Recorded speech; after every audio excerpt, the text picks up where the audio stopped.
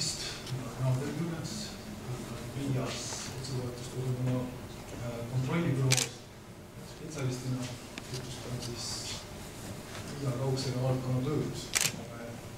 igapäevaselt teeme ja üritame saavutada. ehk lõviosa meie tööst, põhiosa on põlvkonna muutmise organiseerimine ning siis selle kõrvalt pakume ka võimalust siis probleemseid olukordi lahendada või selgust saada, mis tekib taotlejatega, kahtlustega. ja meie töö siis ütleme, on kantud Euroopa Liidu määrusest, kus on öeldud, või on kirjutatud, et toetused makstakse siiski tehtud tööde eest teatavate mööndustega õigusega meie põhitöö, põhitöö mõõtmine, selle käigus me korraldame kaugsõiduaja alade valiku, mille käigus tellitakse satelliitpildid Euroopa Komisjonilt. korraldame mõõtmise ning selle kvaliteedi kontrolli. satelliitpildid on tavaliselt üldiselt poolemeetrise, umbes poolemeetrise pikslisega Worldview, GeoEye ja ComSat satelliitidelt. kuid äh, siis äh, andmete tekkim- või vabade andmete jõude tekkimisega on võimalused, kus me saame äh,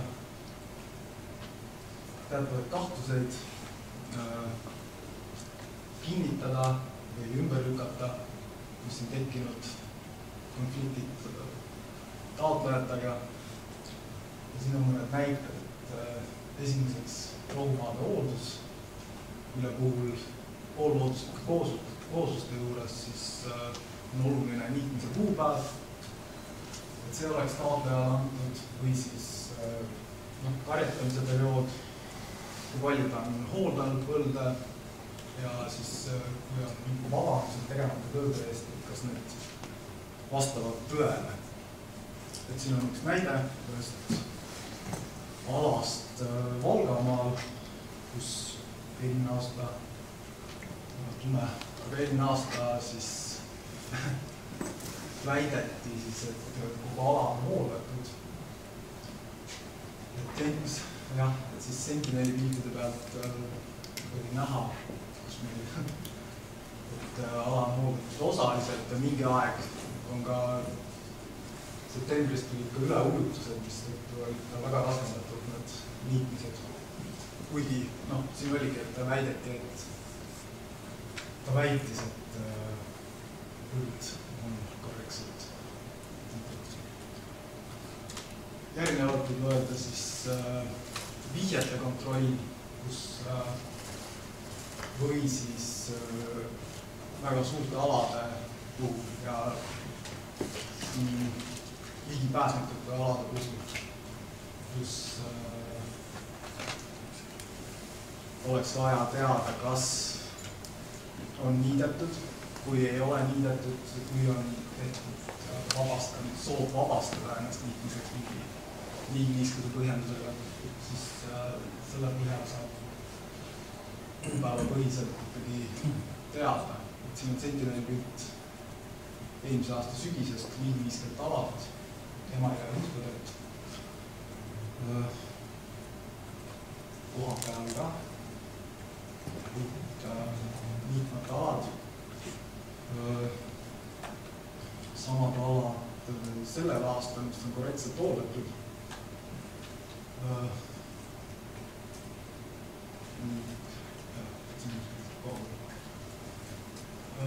lisaks siis tuleb ka majasiseselt või organisatsioonisiseselt kahtluseid teatavate taotluste vaadatud pindade puhul, mis on nagu eeldatavalt juba, eeldatavalt probleemsed. näiteks rannikualad, mis on äh, mingil ajal aastast üle uutatud ning äh, selle puhul kas, no küsimus, kas äh, saata kontrolli kohale või siis äh, jätta asi sinna paika. et siin on selle aasta üks taotluse joon. oh, väga tume jälle, et siin,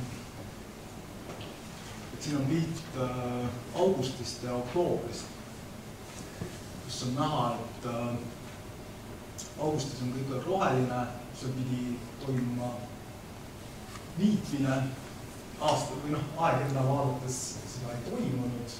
oktoobris oli ka juba, või noh, oktoobris oli üle õhutatud alad, seal on näha tegelikult, et see mm, rannikul on mingi see ranniku ra,, rannikus äh, serv on ühesõnaga hooldatud või niidetud, et mingi, mingis osas on see ikkagi mingis osas on seal midagi tehtud. koha peal, kuna või midagi on tehtud, siis tuleb koha peal mõõta. aga selleks, jah, siin on pildid, mis seal tegelikult oli, üle ujutatud suhteliselt hoomamata rannas, rannajoone lähedal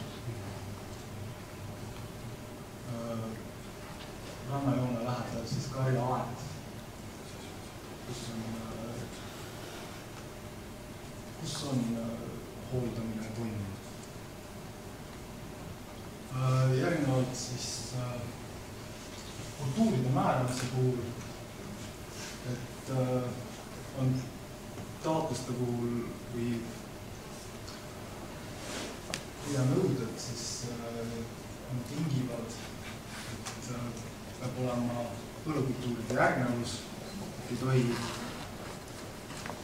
väga palju mitmeid aastaid järjest kasvatada teravilja, kasutada lindikõielisi, lisaks seal on ka erinevad ühikumäärad. tähendab, et äh, erinevate kultuuride puhul makstakse erinevad toetused. selle puhul on väga lihtne rapsipõldude, rapsipõldude kindlaks tegemine äh,. Teeb kindlaks ka ristikupõllud, teraviljadega enam nii lihtne ei ole. Need on suhteliselt sarnased ja nende puhul ma ei julge kindlalt öelda. et need äh, jah, tavaliselt need situatsioonid tekivad, kui on konflikt põlluraamatute täitmise ja taotlusraamatute täitmisel andmebaasi, andmebaasi vead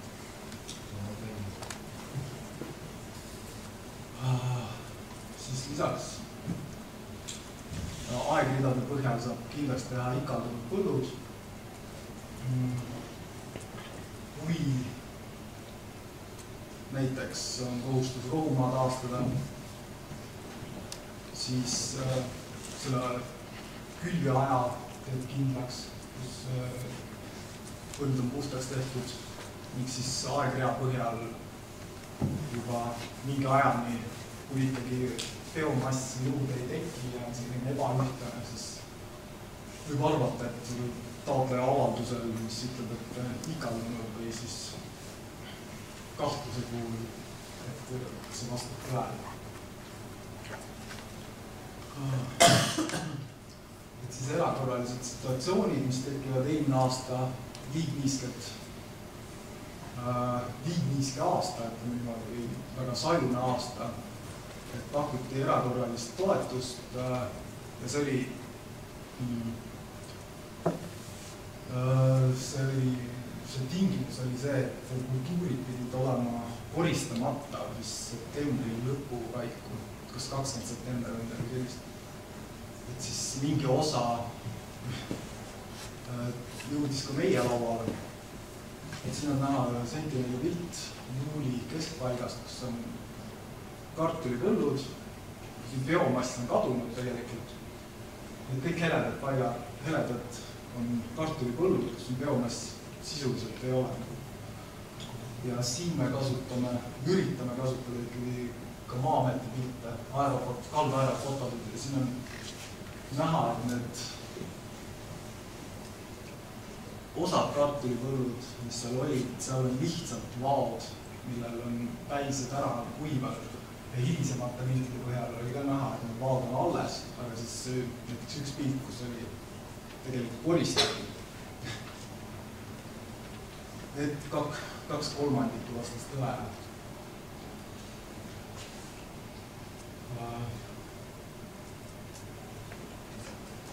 et siis veel äh, nõuetele vastavuse puhul, et äh,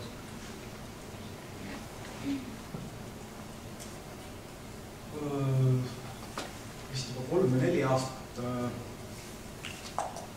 on kehtinud või on teatavates piirkondades Eestis, kus on metsasuse protsent jääb alla viiekümne protsendi, kehtib rohestamise nõue, mille alla saab, peab taotleja viis protsenti oma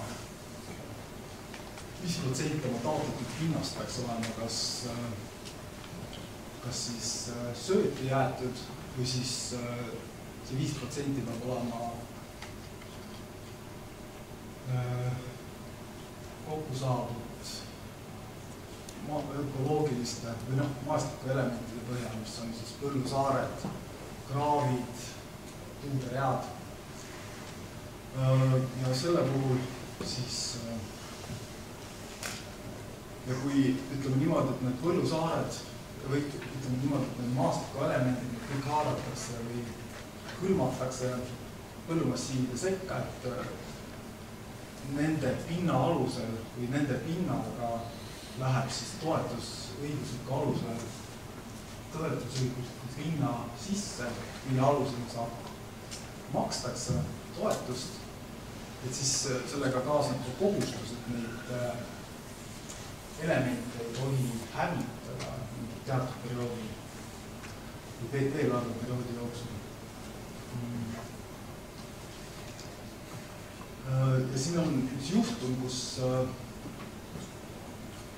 kus siiski maaparandustööde käigus on põllusaar ütleme, ära kaotatud või siis kõrvaldatud.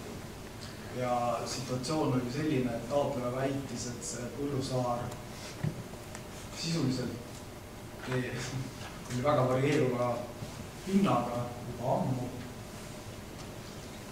ning et, et sanktsioonidest siis pääseda, avaldas siis seda soovi, et see või arvamust, et see tegelikult ei olnud väga selline tähtis või selline suur asi. et siin on et siis sai võrreldud seda asja jah, ava, põhiliselt avaandmete põhjal Maa-ameti ortofotodel ja siis äh, vana Keskkonnaagentuuri satelliitpilt või aerofoto. Selle põhjal, et noh, vähemalt kolmkümmend aastat ligi kolmkümmend aastat on see põllusaar seal seisnud. noh, üritatakse valetada.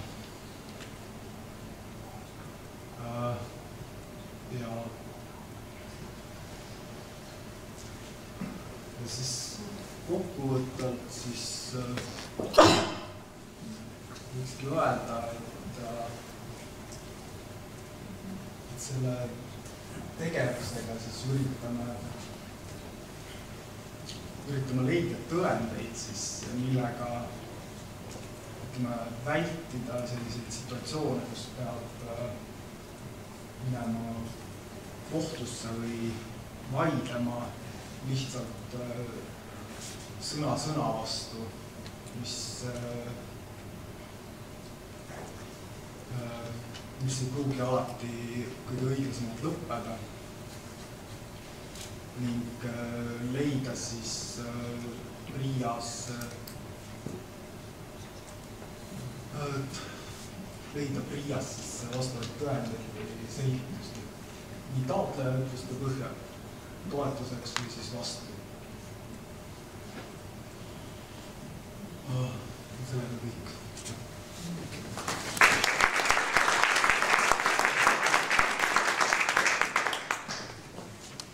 see on aega natuke küsimusi.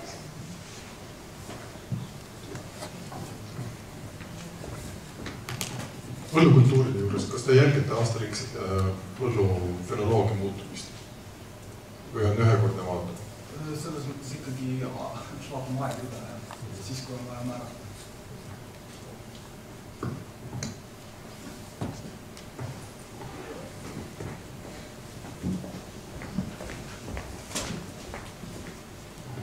Sentineli osas tekkis küsimus, mis lain-, mis äh, laine kana-, mis lainealasid äh,, mis lainealadest te neid vaatlusi muidu teete äh,? siis Sentineli andmetes. vaatame põhiliselt ikkagi seda tavavärvides pilti. et vahepeal ka siis NDVI pilti ja siis seda veeindeksit ka mõnikord.